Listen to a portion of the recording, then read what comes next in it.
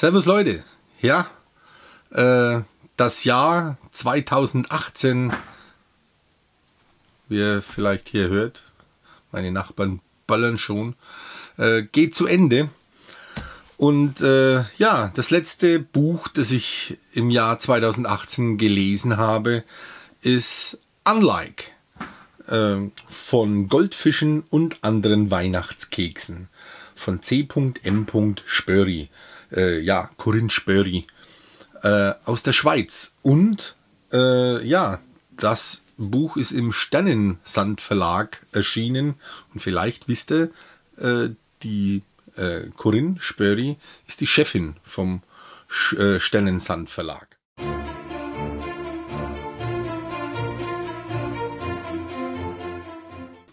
Ich lese euch mal den äh, hier den Klappentext vor. Äh, Evan oder Evan hat in seinem Leben schon viel Mist gebaut. Äh, doch seit fünf Jahren ist es ihm gelungen, nicht mehr auf die schiefe Bahn zu geraten. Äh, er wohnt in New York, hat einen Job, äh, eine Wohnung, keine nervigen Freunde. Alles wäre eigentlich soweit in Ordnung, abgesehen von der bescheuerten Weihnachtszeit, die gerade in vollem Gange ist. Und ausgerechnet jetzt mischt sich auch noch der schwule Nachbar in sein Leben ein. Diese kann nicht mehr mit ansehen, wie Evan sich ab abkapselt und plant deswegen über eine Single-Plattform ein Date für ihn. Sarah, eine Londoner Studentin, wird für eine ganze Woche anreisen. Allerdings in der falschen Annahme, dass sie mit Evan äh, gechattet hat und er sich auf ihren Besuch ebenso freut wie sie. Als wäre das nicht schon äh, verheerend genug, ist Sarah auch noch das komplette Gegenteil von ihm. Sie liebt Weihnachten und kommt einzig und allein nach New York, um hier den romantischsten Urlaub ihres Lebens zu verbringen. Zusammen mit Evan. Wow. Ja. Äh, wie ihr schon hört, äh, Evan ist ein bisschen ein Problemfall. Der ist ein bisschen so ein Grinch, äh, hasst die Weihnachtszeit und es hat sich die letzten Jahre äh, ja, etwas zurückgezogen. Ähm, er hat einen, ja, äh, einen schweren Schicksalsschlag äh, erlebt und danach ist er, ja, ist er ein bisschen auf die schiefe Bahn geraten, war auch mal für eine Zeit lang kurz im Gefängnis. Äh, und hat sich aber jetzt äh, die letzten, glaube fünf, fünf Jahre aus dem Ganzen wieder äh, ja, aufgerappelt und, und ist seitdem wieder sauber und, und, und hat einen Job. Ähm, ja, und plötzlich äh, ja, tritt Sarah in sein Leben und äh, krempelt das innerhalb kürzester Zeit äh, ja, kräftig durch das ist, äh, das rumpelt und erschüttert sein, sein ganzes Leben bis ins Mark. Ähm, denn eben, äh, ja, Sarah ist ein Sonnenschein und freut sich äh, äh auf einen Traumurlaub in äh, New York und sie ist eben so ein richtiger Weihnachtsromantiker und in absoluter Weihnachtshochstimmung. Ja, das passt äh, natürlich zu der jetzigen Zeit äh, für eine Geschichte, für ein Buch jetzt um Weihnachten.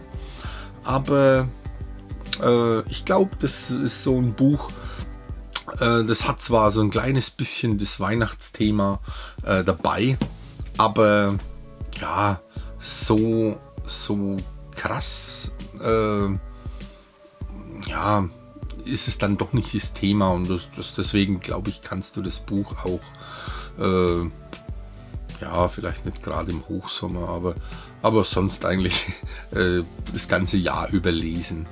Ähm, ja, äh, es ist äh, aus dem Genre New Adult, ähm, ja, so eine, ähm, ja, natürlich in diesem Genre New Adult ist natürlich eben eine Liebesgeschichte für, für ja, enthalten.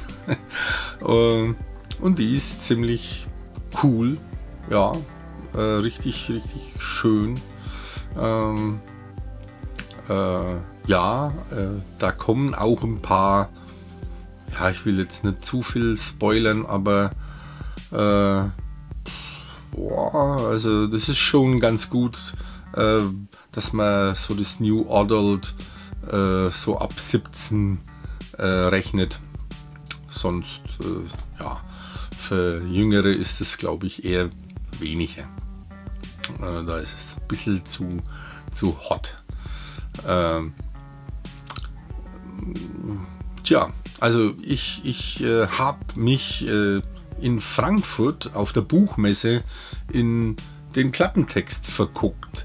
Äh, das ist nämlich genau dieses Buch, das ich so äh, ja, wegen dem Cover erstmal in die Hand genommen, genommen habe und eben wegen der Weihnachtsmütze und dem süßen Mädel da drauf. Und ich dachte mir, was ist das denn? Äh, ja, und dann habe ich so den Klappentext durchgelesen von mhm, mhm, mhm, und dann ist mir so richtig das Grinsen äh, ja, ins, ins Gesicht gestiegen, weil ich den Klappentext so interessant fand.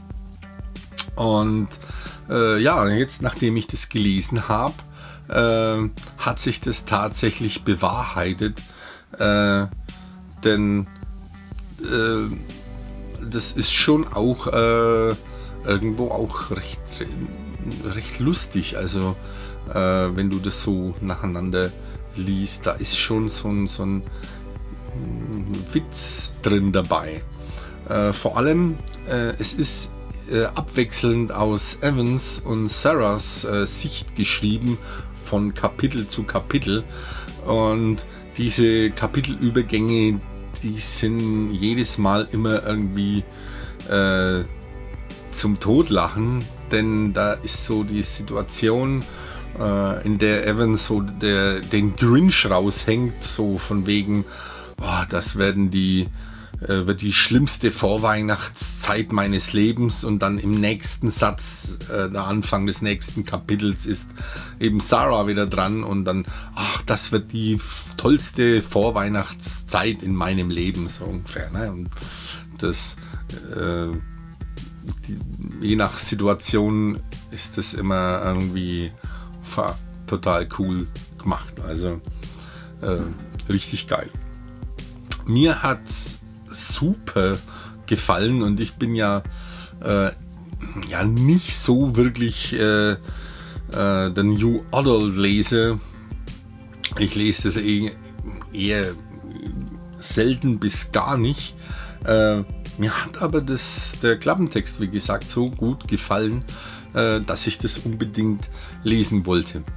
Äh, ja, das ist jetzt auch der, das erste Buch, das ich von äh, der Autorin von Corinne Sperry äh, lese und ich muss sagen, äh, der Schreibstil hat mir wahnsinnig gut gefallen. Der ist super gut. Also äh, ich habe nicht, ich bin, wie ihr vielleicht wisst, äh, oftmals vielleicht sogar ein, ein überkritischer Leser so im, im im, im Aufbau.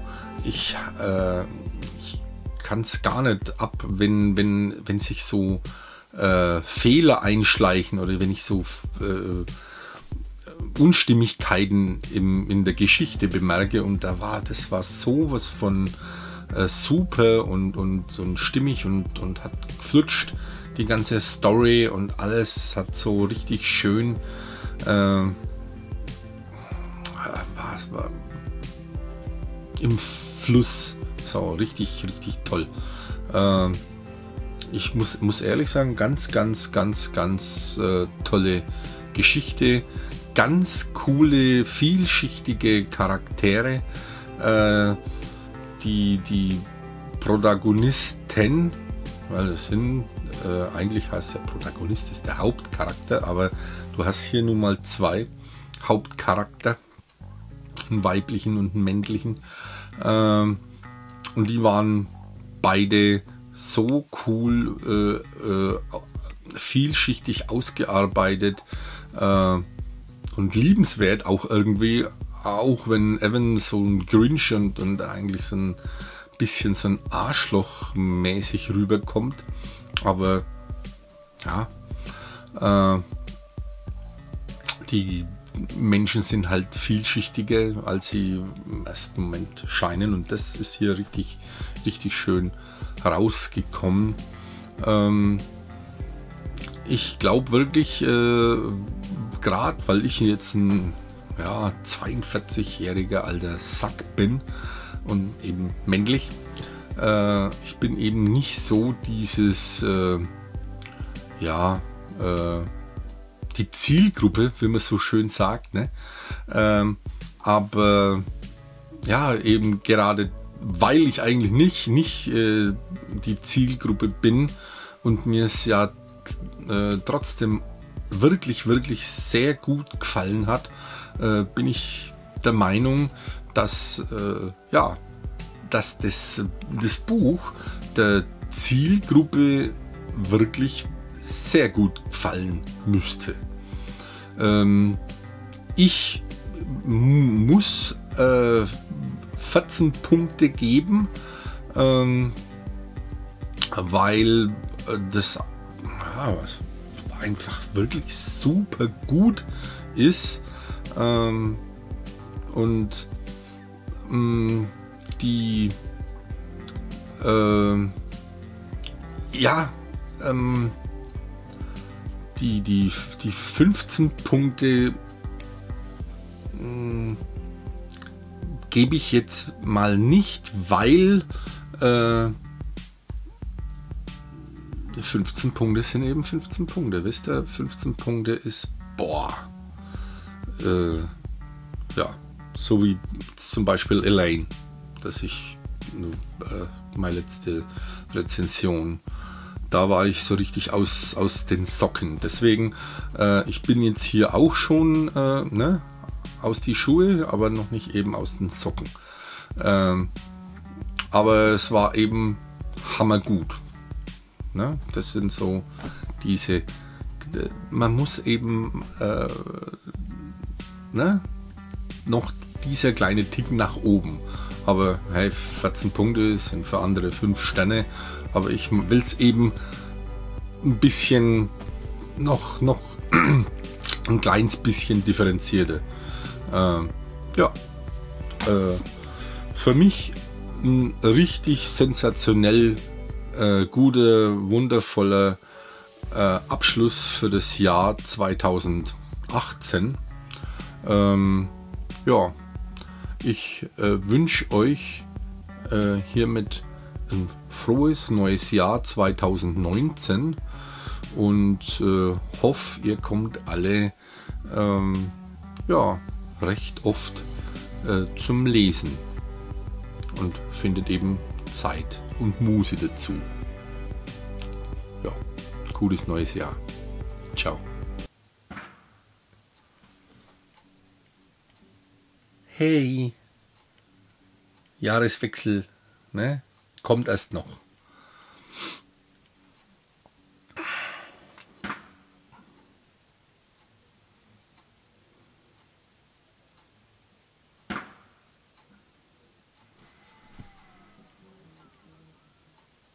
Alter.